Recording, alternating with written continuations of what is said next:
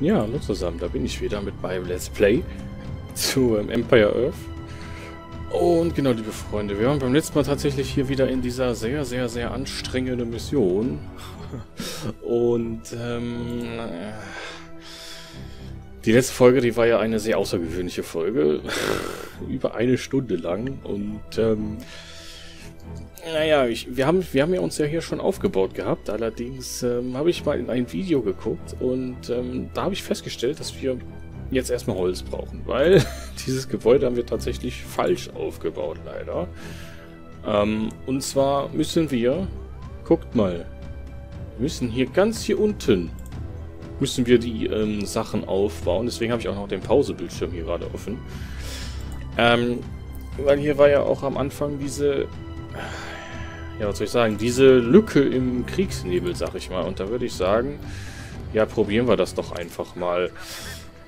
Wir haben jetzt hier unsere drei Bürger und mit denen würde ich jetzt versuchen, hier runter zu laufen. Das Gebäude hier ist leider fehl am Platz, tatsächlich. Das heißt, wir brauchen tatsächlich ähm, mehr Holz.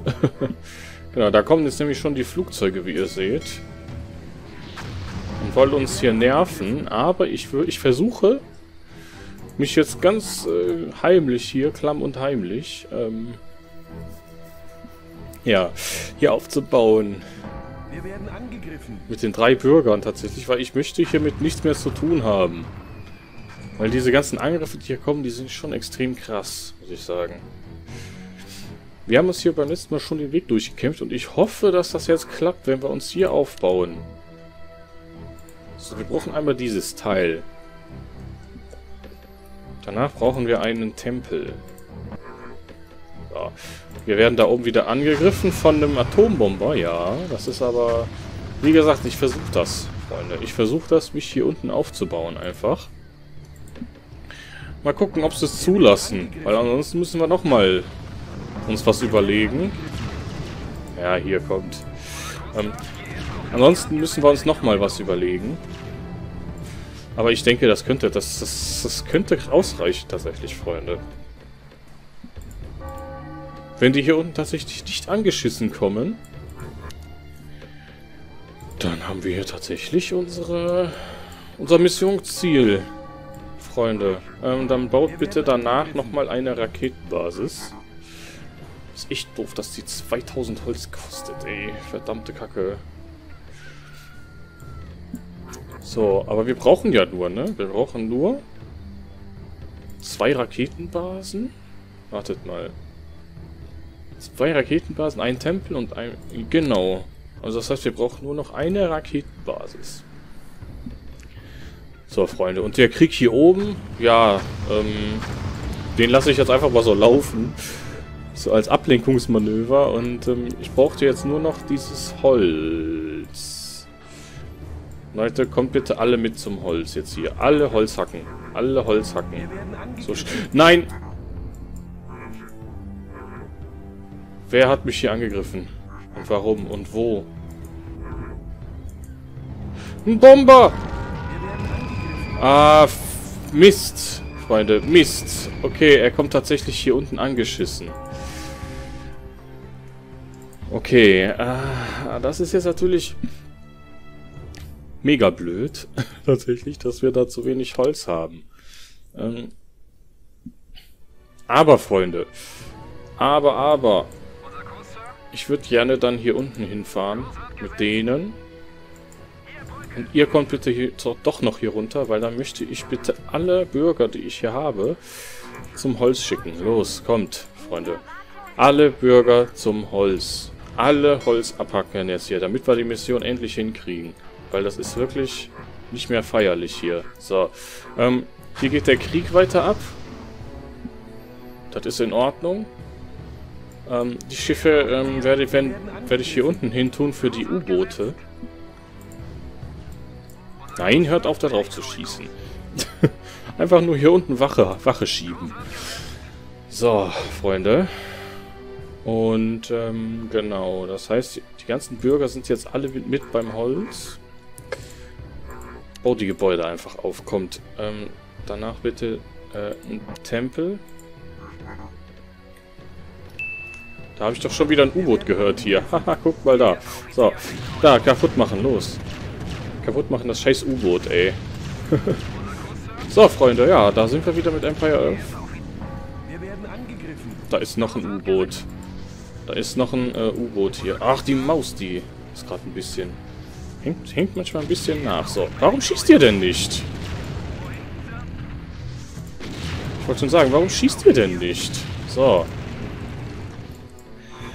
Okay, ähm, dann haben wir es doch schon. Ja, oder? Was ist jetzt? Was ist jetzt? Haben wir jetzt... Äh, was ist jetzt, Freunde? Wir sehen die Map, aber, ähm... Nein! Wir haben hier unten was aufgebaut. Aber wir sehen die ganze Map. Aber naja, boah, schaut euch das mal an, Freunde, was der hier alles hat. Aber irgendwas scheint da mit dem Träger wieder nicht geklappt zu haben, ne? Verdammte Axt. Freunde. Aber so kann es gehen. So kann es tatsächlich gehen. Ähm, am besten hier direkt alle zum Holz, bitte. Alle hier zum Holz. So. Und ihr könnt bitte direkt hier runterlaufen. Und ich bräuchte dann mal ähm, drei Fregatten, die sich dann mal hier unten hinschießen. So, Freunde. Ähm, es gibt, es besteht tatsächlich eine Chance, dass wir die Mission so schaffen. So.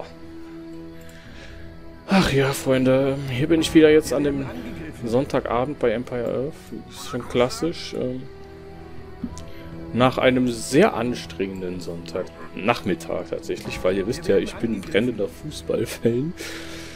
Und meine Mannschaft... Nein, was zur... Ja, so viel zum Thema äh, Smalltalk. Ähm, schaffen wir das jetzt überhaupt noch? Der hat daneben geworfen, okay. Aua! Was ist denn jetzt hier los, sagt mal? Wir werden angegriffen. Normalerweise... Ah, ich, vielleicht müssen wir ein bisschen abwarten hier. Das kann gut sein. Vielleicht müssen wir einfach die Atombombe abwarten. Ähm, gut, Freunde. Ähm, ja, wie gesagt, für mich war der Sonntagnachmittag sehr anstrengend, weil ihr wisst ja, ich bin ähm, Fußballfan und äh, naja, sagen wir es mal so. Ähm, meine Mannschaft hat natürlich so einen Scheiß zusammengespielt. Ihr glaubt, ihr werdet es nicht glauben. Aber na gut. Ähm, das gehört jetzt äh, eher nicht hier rein. Ähm, wir spielen jetzt erstmal weiter hier Empire Earth. So, dann...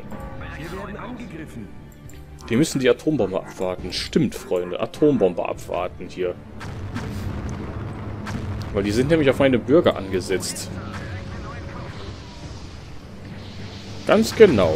So. Aha, da sind sie. Da sind sie schon. Ah, nein. Okay. Aber die Atombomber sind erstmal weg. Das ist schon mal gut, Freunde. Und äh, ja, ich würde das dann nochmal abspeichern. Tatsächlich nicht, dass wir den, den Schritt hier immer wieder machen müssen. Und das ist aber auch blöd, ne? Dass die hier einfach nur sagen, äh, auf der Insel hier uns äh, verbreiten und nicht genau hier, un hier unten an dem Punkt. Das finde ich ein bisschen dumm gemacht, aber gut, Freunde. ähm, es ist halt so irgendwie und naja. Dann Bürger, dann baut mal bitte hier... Macht ihr denn da? Lasst das doch in Ruhe da unten, ey, das Zeug. So, Freunde. Dann hoffe ich, dass wir die Sachen jetzt hier aufgebaut kriegen. Wir müssen nur die Sachen kurz aufbauen, tatsächlich. Okay, das, das da oben ist mir jetzt tatsächlich relativ egal. Wir müssen uns nur vor diesen Triton-U-Booten, ähm, ja, feilen, gefeit machen. Und mein Gott, jetzt macht das Boot schneller das Zeug hier auf. So, dann, dann haben wir auch schon genug Holz. Seht ihr das? So, was haben wir jetzt hier? Es ist wieder der Trigger, ne? Aber wartet mal. Was ist denn das jetzt hier? Bereitschaftspolizei von Japan. Wo kommt die denn her, sagt mal. Okay. Ja, gut. Da kommt auf jeden Fall was... Nee, da kommt nichts an. Okay. Ich finde das höchst interessant, ne, dass der, dass der jetzt die ganze Karte anzeigt. Finde ich echt interessant. Aber gut, Freunde, es ist halt irgendwie so, ne? Wir werden angegriffen. Genau, wir haben hier Unterstützung. Das ist ja cool, Freunde. So, und wenn die Sachen dann fertig aufgebaut sind, dann sollte es doch jetzt ausreichen. Haben wir es echt jetzt geschafft, oder was? Weil warum zeigen die uns die ganze Hä? Warum denn? Warum denn, Freunde? Warum triggert da irgendwas nicht? Es kann sein, dass ich die Cutscene nicht wegdrücken darf, aber das ist auch, äh, das wäre auch sehr merkwürdig, muss ich sagen. Das wäre auch sehr merkwürdig, Freunde. Ähm,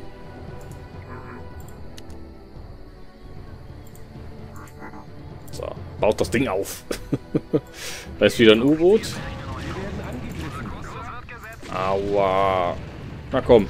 Einfach ausweichen. Komm. Alter, der, die Torpedos, die reichen aber auch so weit, ne? Unglaublich. Nein, nicht das... Oh, Gott sei Dank. So. Alles klar. Ähm, das heißt, wir müssten die Gebäude nacheinander aufbauen. Ich verstehe, Freunde. Ich verstehe. Gut, dann machen wir das. Ich darf diese Cutscene dann auch nicht wegdrücken. Ne, die dann kommt. Die Cutscene dürfen wir nicht wegdrücken. Okay, weil sonst triggert es scheinbar nicht. Tempel. So. Einfach aufbauen hier, Mensch. Ist doch nicht so schwer. Wir haben jetzt auch genug Holz. Was ist hier oben? Nur noch die Flieger übrig, ja, danke. ja, okay, aber...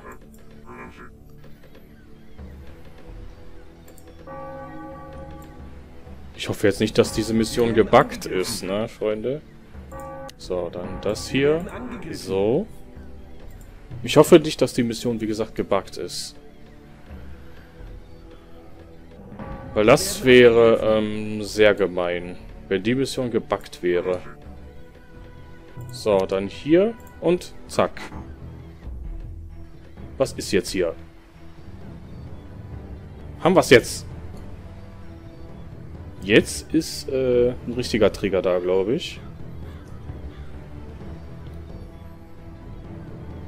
Ja, Cutscene. oh, was ist das denn? Schaut mal.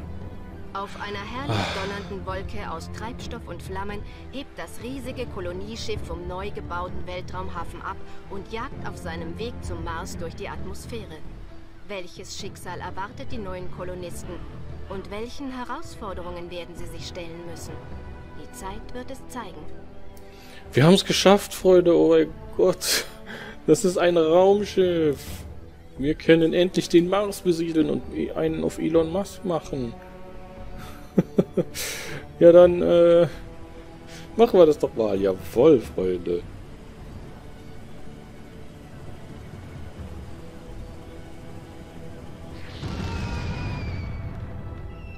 Haben wir es jetzt? Und, oh mein Gott, wir haben es, Freunde.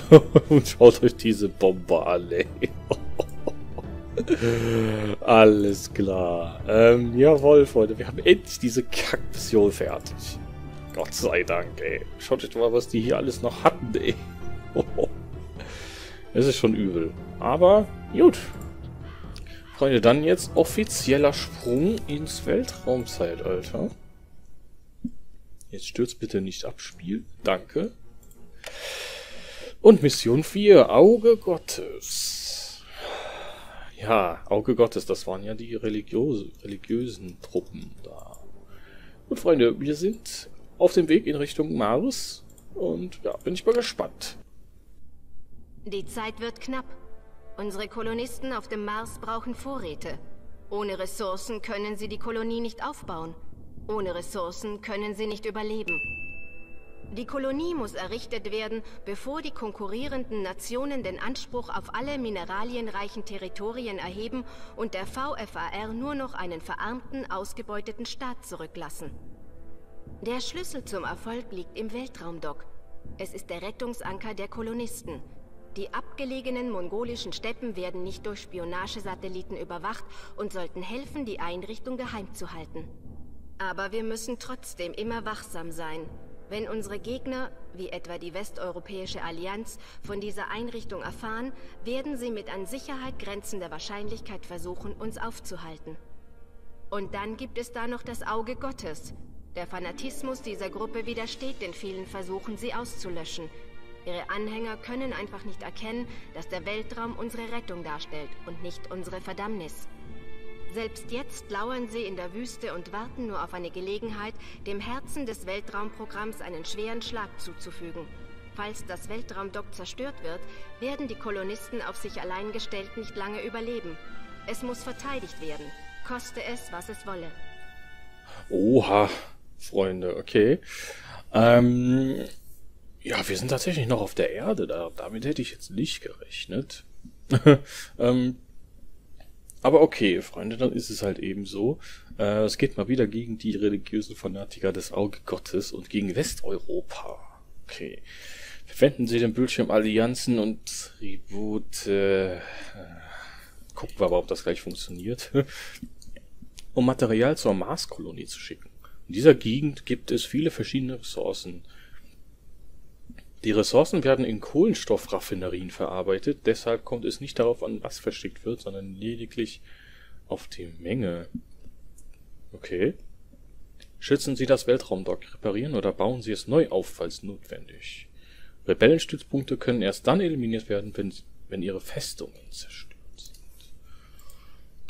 Ja, ja, ja, okay, Sie sehen es hier jetzt schon, ne? Kleine Militärbasis und das hier soll wohl der Weltraumstützpunkt sein. Ja gut. Dann würde ich sagen, gucken wir doch einfach mal rein in diese Mission. Bin ich mal gespannt. Drittletzte Mission des Spiels. Die mongolische Steppe, immer noch durchstreifen Nomaden wie schon Generationen ihrer Vorfahren diese Wüste. Hauptsache die Mongolen haben Gladiatorpanzer. Ein trockenes, feindliches Land, das nur die robusten Menschen zu ihrem Lebensraum erwählen. Boah, guck mal, der Sternenhimmel, das sieht cool aus jetzt gerade. Auf den ersten Blick würde man meinen, es hätte sich, ja, es hätte sich jahrhundertelang nicht das geringste verändert. Oh, wie geil, guck mal, der, der Weltraum. Das ist, es ist schon Ironie, dass ein solches Symbol der Geschichte Asiens zum Vorboten seiner Zukunft wurde. Eieiei. Es ist auch eine große Ironie, dass diese im Staub erstickende Wüste sich nicht sehr von den riesigen Landmassen unterscheidet, die den Mars bedecken. Ja, stimmt. Boah, sieht das geil aus. Schimmernde Säulen ragen in den Himmel, zeigen auf den entfernten roten Planeten, der die Hoffnung einer ganzen Nation in sich birgt.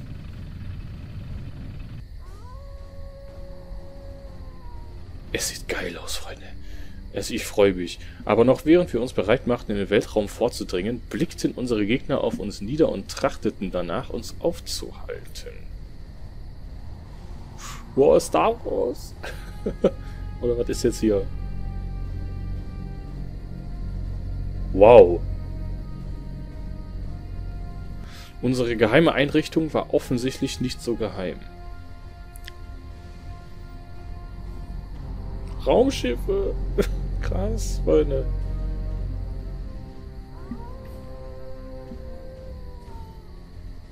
Boah, das macht gerade, das ist gerade cool. Guckt euch das an. Was so? Das ist, das ist jetzt auch tatsächlich zum ersten Mal, dass ich diese Einheiten sehe. Hätten unsere ersten Pioniere damals gewusst, dass ihre Rettungsleine zum Zeitpunkt ihres Eintreffens in der neuen Welt bereits durchtrennt war, hätten wir sie dann wohl noch den Mut gehabt, die Reise, diese Reise zu unternehmen? Ach, das ist jetzt der Mars, oder was? Ist das jetzt der Mars? Oha.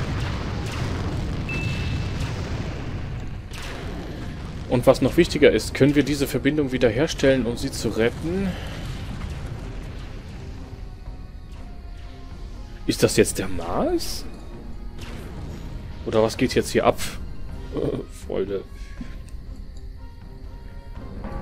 Noch 60 Minuten, um unseren Kolonisten die Ressourcen zu liefern. Ja, Kommandant. Okay. Ähm, es werden 10.000 Einheiten an Ressourcen benötigt. Ja, einfach irgendwas, ne? Fertig, Sir. Natürlich. Natürlich, ja. Boah, und wir haben wieder einiges an Einheiten hier. Ähm, oh, schau dich das an, es sieht so geil aus. es sieht einfach so, so geil aus. Ähm, gut, wir brauchen 10.000 Ressourcen. Es ist egal was. Nur die Menge scheinbar, oder was? Äh, ja, scheint so. Gut, dann geht ihr bitte zur Nahrung. So, ähm, verwenden Sie... Okay. Liefern Sie 10.000 Einheiten an Ressourcen, um die Marskolonie zu gründen. Hier oben. Ich hoffe, dass das jetzt klappt. Es sieht nicht gut aus. Oh Mann. Marskolonie. Wir sind schon befreundet, aber wir können nicht handeln. Ich meine, wir hätten ja schon 500, ähm, 500 äh, Ressourcen, aber naja. Äh, wir sammeln Ressourcen, egal was. Da oben ist noch ein Nahrungsfeld. Sind noch im Dano-Zeitalter. Das ist interessant. Freunde. Und ähm, interessant ist aber auch, warum wir hier wieder nicht äh, diesen Bildschirm hier betätigen können. Das ist, glaube ich, gerade... Könnte sich zu einem Problem entwickeln. Ja, doch. Aber gut, Freunde, gucken wir mal, ob wir diese Mission hier hinkriegen. So, wir sind im guten Nano-Zeitalter. Wir werden angegriffen. Was ist das? Wieder sind Panzer. Warum sind da Panzer, sagt mal? Äh, okay. Dann müssen wir uns hier tatsächlich den Weg freiräumen. So, mach die kaputt da unten. Laserpanzer. Yeah. So, alles klar. Ähm, ja, ich hoffe halt wie echt, dass... Marskolonie. Ich kann da gerade nichts hinschicken, leider. Ähm... Müssen wir tatsächlich mal abwarten, ob wir diese Mission dann überhaupt technisch hier schaffen können. Ja. Auch ohne diesen blöden Tribute-Bildschirm, weil das ist ja, der ist ja verbuggt bei mir, wie ihr wisst. Ja, warum auch immer, fertig, so. so. Positiv. Dann sammelt ihr mal eure Ressourcen ein. So, Freunde. Ähm, liefern Sie 10.000 Einheiten in Ressourcen. Um Ihre Marskolonie zu gründen. Okay, was haben wir hier vorne? Oh, guckt mal. Militäreinheiten. Sehr schön. Und ja. Freunde, dann äh, hoffe ich, dass euch das nach wie vor gefällt, das Empire Earth. Und ähm, ja, dann ist tatsächlich auch schon die Folge fast voll, ey. Meine Güte. Es geht immer so schnell, ne? Es geht echt immer so schnell. Was haben wir hier noch? Hier haben wir ein bisschen Luftabwehr. Wer schießt hier schon wieder meine Bürger kaputt? Der hat also einen Spawner hier. Der hat also einen Spawner hier. Okay, Freunde, dann, das heißt... Die Panzer müssen da runter. Ganz dringend, Freunde. Oh, Artillerie! Oh Gott. Wo kommt die denn her? Auge Gottes. Ja, komm, du mich auch, ey. So, kaputt machen den Scheiß. Ja, wunderbar. Mich gerade echt, wo die herkommen. Aber okay, Freunde. Ähm, dann würde ich einfach mal sagen, wenn euch diese Folge gefallen hat, dann lasst mir doch mal gerne mal ein Like oder Abo da. Lasst die Glocke läuten. Äh, würde ich mich sehr freuen. Erzählt gerne weiter den Kanal. Und ähm, ja, wenn ihr Bock habt, irgendwie ein bisschen privat zu quatschen oder so, kommt gerne auf meinen Discord-Server, der Link ist in der Beschreibung. Und ja, dann würde ich sagen, wünsche ich euch noch einen schönen Abend oder schönen Tag. Ne? Tschüss. tschüss.